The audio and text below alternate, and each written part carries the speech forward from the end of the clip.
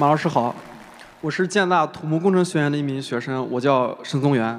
我发现您呢，不仅是一名文物鉴赏家，同时还是一名有着十年工作经历的文字编辑，还参与过许多影视剧的编剧。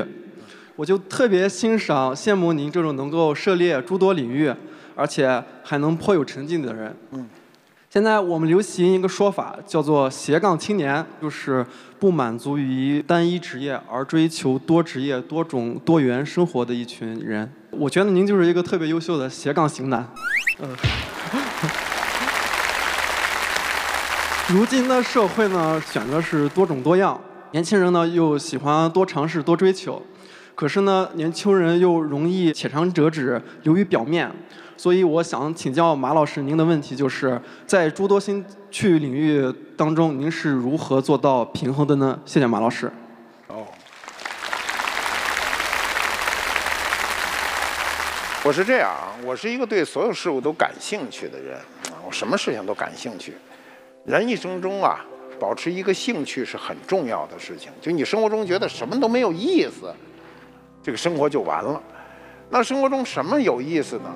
有很多你看似貌似无用的，它可能也有意思。积极的人生态度啊，你要有一种积极的人生态度。那我在年轻的时候呢，当然我很早就喜欢文学，文学我曾经认为是我一生的梦想啊。文学确实能给你生活这个以滋养，提高你的生活质量。你再不怎么着，你你自个儿独自一个人走向远方，自个儿对着大漠孤烟朗诵一首诗，也是一种享受哈。那是不是太小资了？不是还有诗和远方吗？那么，我年轻的时候因为喜欢文学呢，曾经从事过很长时间的文学工作，比如我做过文学编辑。但是我在做文学编辑之前，我做过呃农民，做过知青，在农村待过，下乡，做过工人。我从小军营长大，所以工农兵我都特别熟。我现在还觉得。当年啊，我在工厂的那五年五年多，不到六年的时间，对我有很大的这种这个逻辑思维，包括看图啊。你学的土木工程对吧？对。嗯，就你那土木工程那图，我全看得懂，因为我在工厂天天看图啊，空间感很好。这些对我就甚至对文物的判断都是有好处的。你说你学机械加工。跟这个有有有什么关系？没有关系。但是我就是看图比你看得明白，随便一个东西我都能记得清清楚楚。这些都是早期的一个训练，对吧？所以当我去喜欢文学的时候，做了文学编辑，那就认识了很多人。认识很多人呢，我有一个态度啊。我觉得人生啊，不是说非得什么事儿都尝试啊。你尝试必须要有一个判断。我刚才说了，凡事要多想一步。就是你尝试这个事儿，如果你没有可能，你就不要去尝试。人生还有一个词儿呢，叫荒废。你浪费时间是个非常不值的事情。所以，嗯，去尝试之前要对自我有一个判断。那我当时呢，就是就是做文学编辑以后，也做过一些编剧什么的。但我认为我的创作力是有限的。我为他人作嫁是好的，所以我做编辑。那很多你们知道的著名的作家，当年都是我的作者啊，我跟他们都很熟，掌握他们的生杀大权啊，所以他们对我都很毕恭毕敬啊。其实我们那时候都是没有像现在啊，人和人之间都有更多的复杂的利益关系，那时候都没有，都是朋友之间。那么后来呢，我知道我不行了，我为什么哪儿不行啊？人生是这样啊，这个很重要的一点，你知道你哪儿行，不重要，你重要的是你知道你自己哪儿不行，这最重要。你知道不行的，你就绕开，啊，你如果觉得我在这块地方是弱的，我觉得我没有可能，我很清晰的知道，我就要尽早的，啊，隔断这个事儿，所谓断臂。我们过去的文化不是这么告诉你的。我们文化告诉你有志者事竟成。我们的文化告诉你，明知山有虎，偏向虎山行。你是武松行，就你这体格，明知山有虎，你偏向虎山行。老虎说：“我信的就是这句，对吧？你过来，你不就为了他了吗？所以你要知道自己不行，知道自己不行不丢人。很多事情不行就是不行。”你看我能说吧？我在这叭叭叭说，我什么事儿我也不慌不慌的，我演不了电影。我我被我那个朋友拉去当演员，就别提自己多丢人了。我一上去我就傻了，我只能演我自己，我演不了别人，我不是干这行的。有无数个你们知道的大导演都找我去演电影，演不了。去年于谦有个电影叫《老师好》，那是我的处女作，我在那里演一老师，就一台词儿，就一句，我死活我记不下来，就说。这孩子还挺聪明的，我就想不起来怎么说。我一看那孩子进来，我就慌了哈。明儿再见，老师们再见。老苗，这班长挺精干的。然后，那电影一播出，有人跟我说：“你一点都不像一老师。”我说：“你我像什么呀？”他说：“你像一校长啊。”所以我知道我不行，啊，我就要躲开。那你人生也是这样，你不行的事情是躲开。如果你觉得你行，你愿意当这斜杠青年啊，你可以人生去多尝试。但是做每一件事的时候，一定要知道我自己要努力。天下没有一个事情你不努力就能成的。谢谢你的提问，感谢马老师。马老师你好，我爸爸也是一个古玩爱好者。他平时喜欢买一些老物件，但是他眼光不好，我妈妈经常为此抱怨他，这让我很不开心。那我想问，在您的经历中有没有上过当呢？那如果你印象最深的是哪一次呢？是这样哈，如果我上过很多当，能减轻你父亲的痛苦，我愿意上当哈。谢谢马老师。我们觉得古董。啊，买错了就是一个上当，是吧？你喜欢收藏，买假的上当。其实你在上当的时候，你会获得一个知识，要不然你不知道是上当。人生活中是这样，你做错一道题，啊，有时候致命的一道题，你会永远记住。你多少年以后记住这个致命的，呃，错误的这道题，这个道理都是一样的。人生中很多是追求过程，你做题没有错过这道题，你可能做题的这个过程就忘掉了，啊，未必将来有用。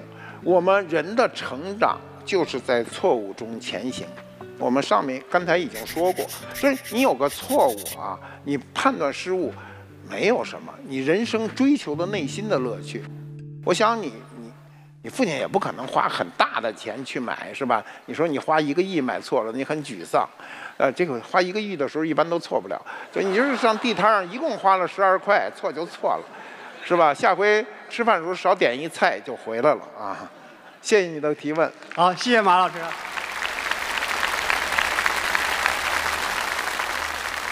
马老师您好，我是来自管理学院的薛一丁。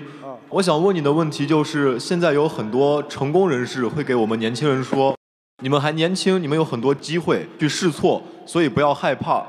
可是我自己的亲身经历告诉我，有时候。一次犯错带来的连锁反应是自己承受不起的。我在大一时候因为家中的一些变故，所以需要在医院进行陪床，导致我大一挂过科。可是不管我之后的成绩再怎么靠前，我在找工作的时候，HR 总会觉得我是一个不是很好的学生，对我有些偏见。所以您对于年轻人有试错的这个机会，您是怎么看的呢？好，问题很好啊，试错，人类啊。指大的是人类，小的是涉及到个人。我们生活中希望我们每一步都走对，但不幸的是，我们每个人的每一步都会走错。问题是在下一步你有没有纠错的可能？我们经常看《动物世界》啊，你比如你看《动物世界》的非洲的猎豹，在非洲的草原上发现。邓玲立刻启动，它从 A 点启动，邓玲在 B 点逃跑，最后在 C 点猎豹把邓玲摁住。那么这个过程不是猎豹的每一步都对了，是他每一步都错了，只不过他下一步在纠正上一步的错误。当这个。邓玲逃跑的时候，他一定跑出一个你是意想不到的曲线。猎豹追逐他的时候，在后一步修正前一步的错误，所以他才能 C 点获得猎物。我们大部分人会认为他每一步都是迈对了，其实他是每一步都迈错了。如果最正确的路，他应该直接跑到 C 点，把它摁住。但是问题是，汤姆逊·邓林不会跑到这个地方，那就是回答你的问题试错。我们如果不希望我们的人生犯错误，重要的一点叫凡事多想一步，不需要你想很多步，就多想一步。我这么做，下一步会有什么结局？这个对你一生是有极大好处的。我不能要求过高，说凡事你得先想三步，你就晕了，对吧？你一般人下棋的时候，为什么你老下饼？你就是走走一步算一步。但是高手下棋，他就是走一步要知道下一步。你再高手下棋，他就走一步知道后面若干步。所以。你自己凡事多想一步，不管你做什么事情，不管你是不是去工作，你凡事多想一步，一定要比别人获得成功的概率大。那么从试错的角度上讲，哈，试错是我们每个人并不愿意的，试错无非给你犯错误一个借口而已。那么如果我们真的错了，也不可怕，你知道下面如何纠正。至于你说什么应聘工作，就因为这个什么以前挂过科哈。我觉得这个事不是最重要的，那可能是这个招聘人员对你的不聘用的一个借口而已，所以不必过多的去惦记这件事儿，就是你不必过多的惦记你心里的这个结，每个人是一定要放下这个心结。我认为今天的社会有一个好处，起码比我们年轻的时候有一个好处，就今天的社会。不埋没人才，只要你有本事，你一定能够出来。但是看你怎么出来，一定做事儿不为小，从小处做起。谢谢你的提问。谢谢马老师。马老师您好。你好。我叫蔡小静，来自建大的建筑学院，简称建院。六年前我第一次来到西安的时候，我对它特别失望。因为我觉得这个城市灰蒙蒙的，跟我想象中的长安城完全不一样。但是有趣的事情是，这两年随着这个短视频文化的发展，西安成为了一种网红城市。前段时间那个大唐不夜城的不倒翁小姐姐在网络上爆红，我一方面就觉得特别开心，大家对西安的关注和喜爱；另一方面呢，我就在思考，就这种。短视频的快餐文化对那些真正的历史文化和一些艺术瑰宝到底是有怎么样的影响呢？它是一种机遇还是一个挑战？不知道您怎么看？这个，我能问你一下，你是哪儿的人吗？我是福建人。福建人，南方人。对。福建人一般都说我是福建人。可能因为我在西安待的久了。啊。大唐的这个不倒翁哈，我我想在座的人可能你们更清楚一点，因为它既然爆红了，就应该知道。这个不倒翁呢，其实我在欧洲看见过，它就是欧洲的城市里经常有这种街头表演，我就看到过。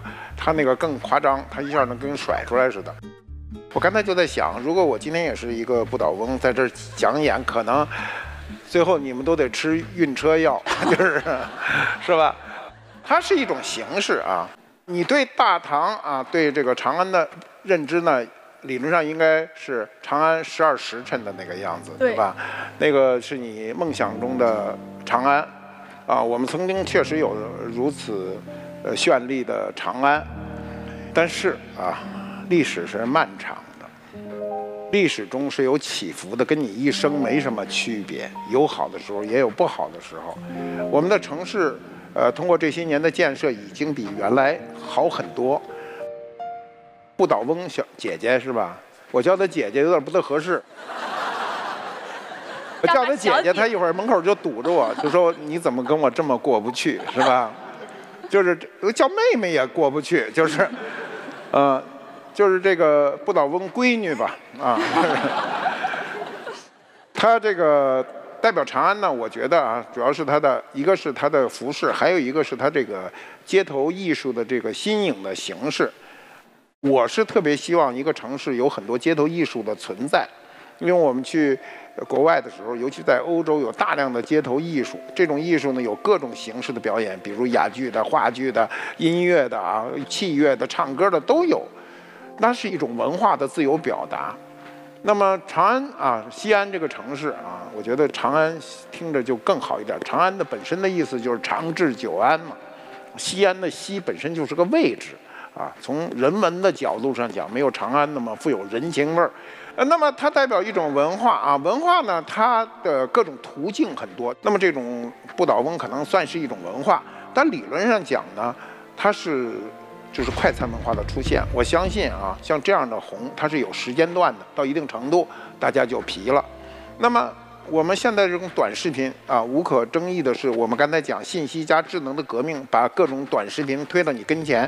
短视频我也看，我有时候也特爱看。为什么？我看到中国人的精神的各个层面，我也看到有很多身怀绝技的人，比如我看到那种特别肥胖的人。就是突然在那儿就翻跟头，乒啷乓啷，我就特别相信安禄山的胡旋舞了。我原来老不相信，我说这一三百多斤的胖子，他能转多快呀？但是我看这种胖子居然能折跟头，那我就相信有这个。就是说你还是有很多信息的提供，但是有一点，无论今天的这些短视频、短信息给你多大的营养，这东西一定是有营养的，但是。它跟零食一样的，你不能多吃，你天天靠零食是不能生存的，你还要靠正经的吃饭。那你学习中很重要的一点就是你的知识的系统的掌握，你学什么，你的专业你一定要对得起你的专业。所以当人家跟你说你的专业的时候，你不能说我不清楚，对不对？这是很重要的，好吧？谢谢你的提问。谢谢您。嗯。如果您有机会可以回到过去，您是会选择回到某个曾经重要的时间节点修补遗憾，还是回到曾经最幸福的时刻呢？我愿意回到不成功的时段，修正我当时的失误。但是有一点，人生节点一旦改变，后面就全会改变。所以我们人生不再做假设。我们是把未来的日子要过好，对于我叫余生，对于你们叫未来。在大学生选择专业方面，您觉得在追求理想和注重现实两个方面，应该达到一个怎样的平衡呢？如果你未来想找一个工作，我倒是建议你奔着你的兴趣去，因为兴趣最能支持你把这个事情走到头儿。你保证你的兴趣，你就会提高你的效率，你就容易获得成功。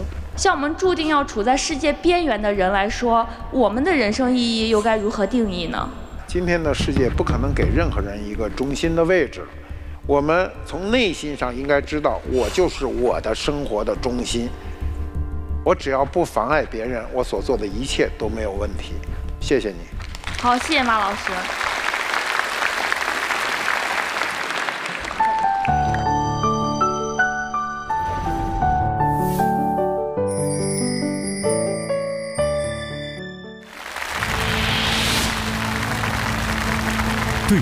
让我们和更好的你聊聊。感谢新历程独家冠名本次公益活动，学口才到新历程。嗯，马老师您好，我是来自机电工程学院的一名本科生，同时我也是一名抑郁症患者。嗯，在我和长辈聊这件事的时候，他们总是跟我说：“你们现在生活过得这么好，嗯，可比我那会儿强太多了。为啥你们的心理这么脆弱呢？”其实我们抑郁症患者的世界很很难被正常人所理解、所接受。嗯，我我今天在这里想借这个平台为抑郁症患者发个声。此外，就是我想问一下马老师，你在面对一些消极的时候和一些压力的时候是怎么做的呢？好。